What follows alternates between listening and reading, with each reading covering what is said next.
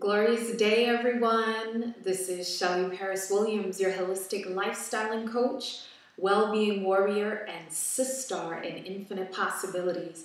I wanted to go ahead and welcome you into my studio today. Throughout our time, all of the videos, all you've been hearing me talk about, I'm sure, is the boxing. And I wanted to also introduce you to one of my next loves and that is yoga.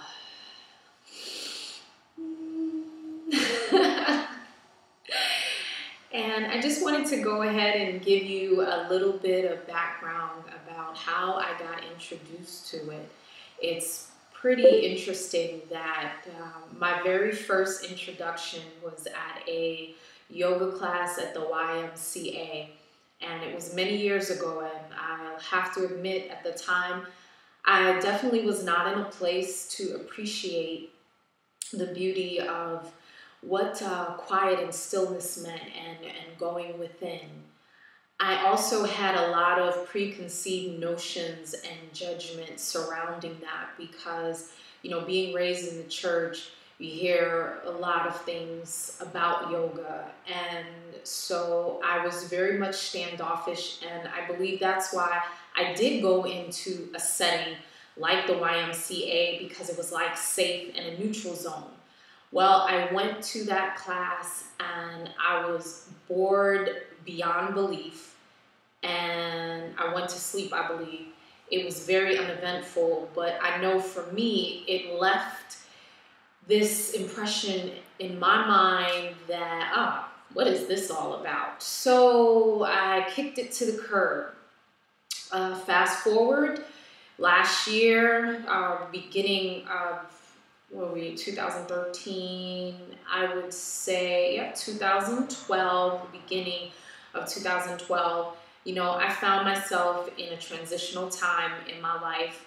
You know it was where that longing that desire my passion had been reawakened and i realized that you know, just the existence, the mediocrity that I had become accustomed to, but just couldn't resign myself to believing that this was it, this was my life. I realized that I needed more. I was also still going 100 miles per hour. At the time, I was still in corporate job and then also juggling my love and passion for holistic well-being and there was a lot of resentment there and, and just resistance and i was just all bound up. So i decided you know what? I'm going to try that yoga thing again. And i found this amazing studio in dade city. And i remember walking through the door. I did end up late getting there sorry.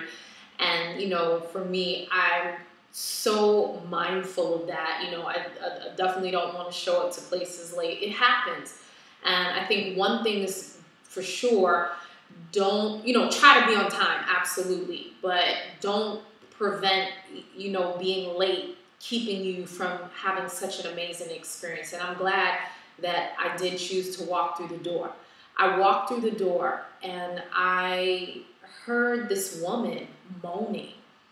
And at the time I didn't know what position she was in, but it has become one of my favorite, most favorite positions, which is pigeon.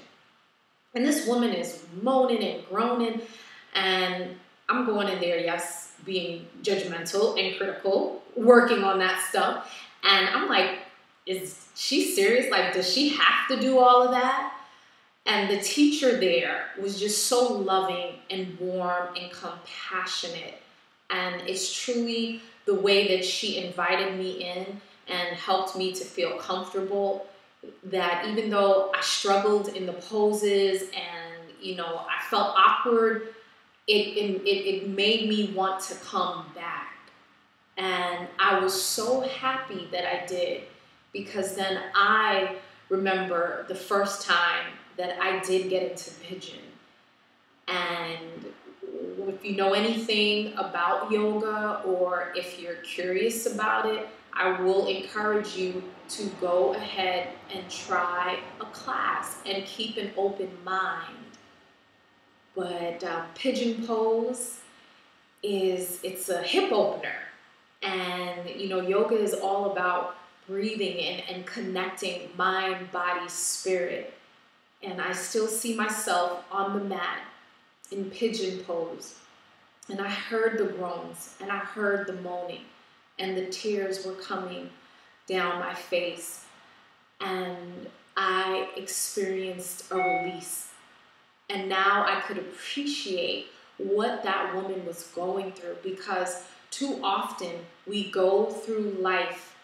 I am, I've been an avid stuffer, stuffing my feelings and holding my breath and going along like everything is okay, including a smile. I got it. I'm strong. I got this. Well, I just want you to know that your body is a journal for your feelings, for your emotions.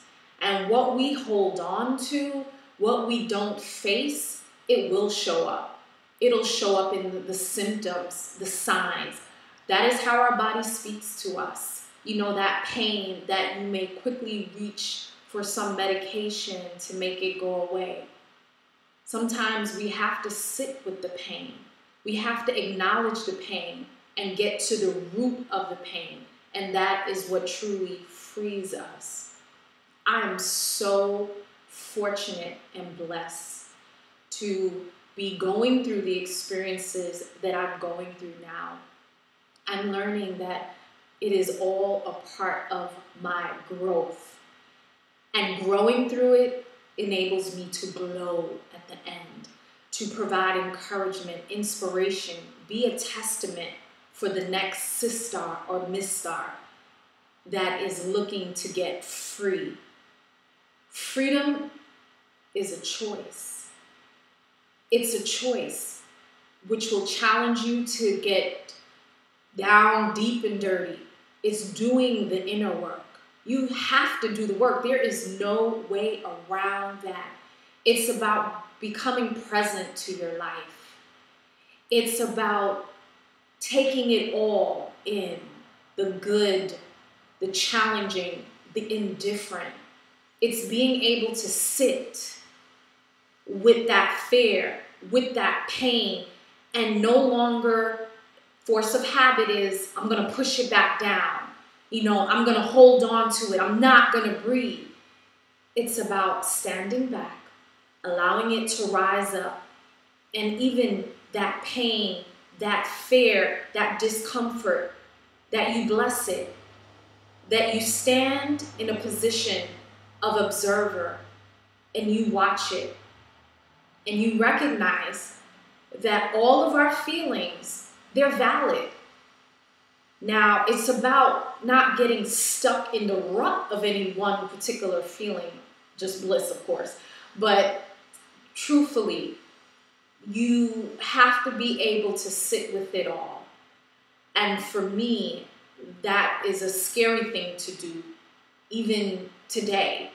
You know, I had my meditation and prayer this morning, and while I was doing my journaling, well, during the meditation, there were a lot of things that came up, and there were fears, and I saw the stuff flashing, and it was flashes of what ifs in the future and those things haven't happened yet.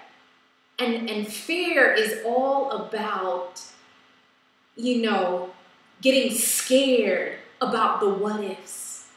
It hasn't happened. And there is validity to fear when it is warranted. You know, it's it's there for a reason. You know, if we're in danger, it's there to let us know, hey, there's a tiger rushing at you, uh, there's a car coming, you know, get out of the way. That is valid fear.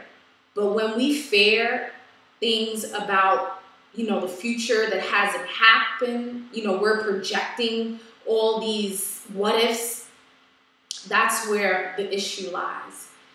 And we have to learn to take control of that.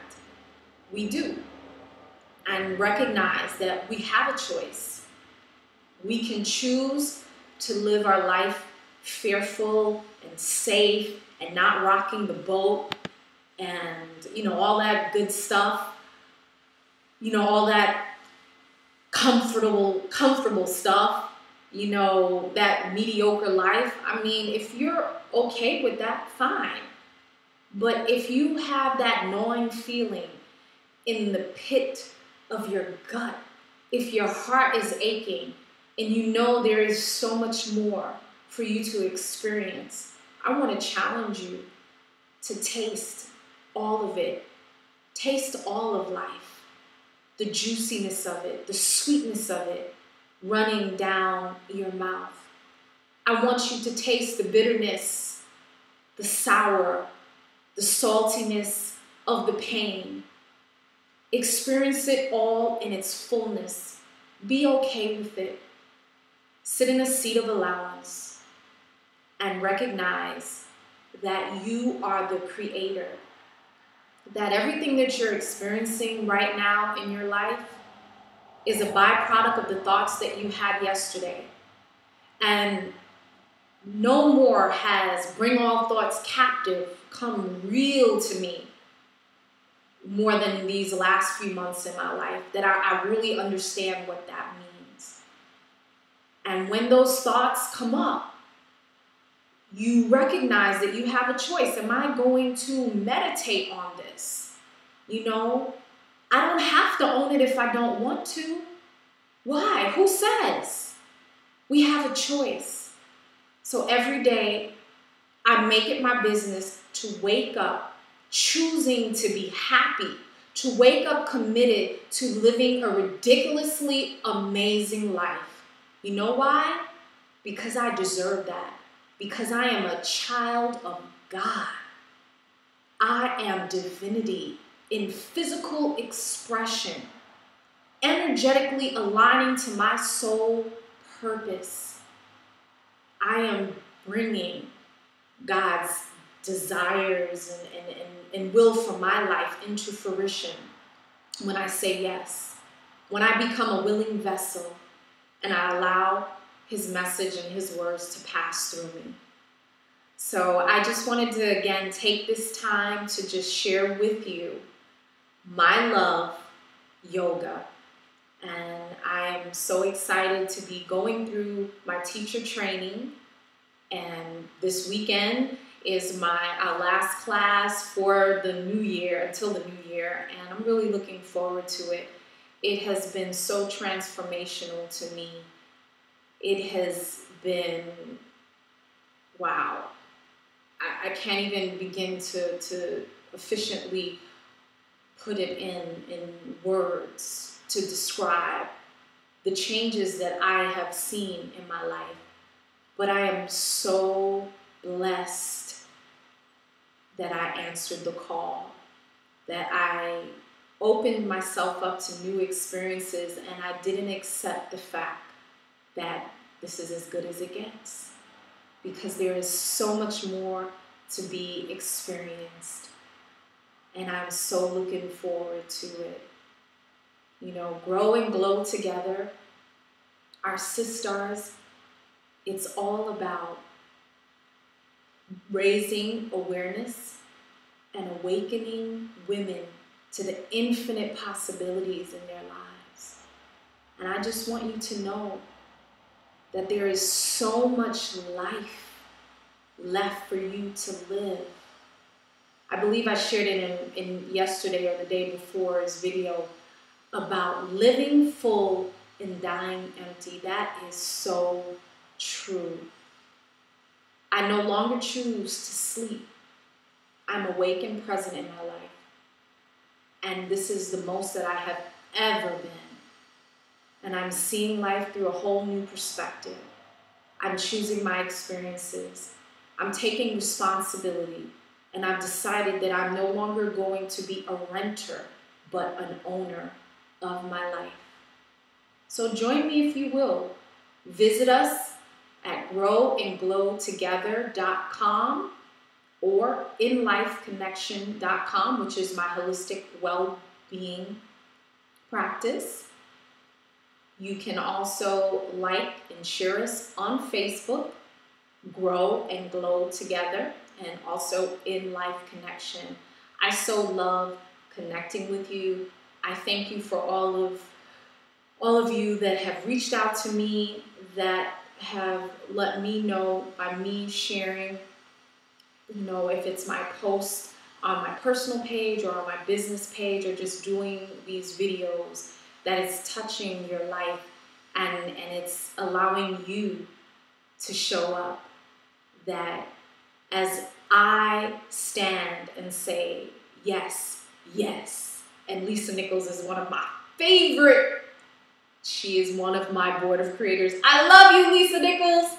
So, yes, yes. And I'm down with the no matter what law of attraction. If you're with it, I'm here with you. I want to connect with you. You know, leave a comment below. Let's get in touch. It's so important to surround yourself with people that will think that ridiculously and amazing is okay. I don't want to be like everyone else, you know, and I don't want to prescribe to any other life that anyone else has for me. Have done that for many years. I'm living out the greatest and highest good that God has for me. I hope you are too. So, with that, I hope you have an awe inspired day. Peace, love, light, and aliveness. Until we meet again. This is Shelly Paris Williams, your holistic lifestyling coach, well being warrior, and sister in infinite possibilities. Namaste.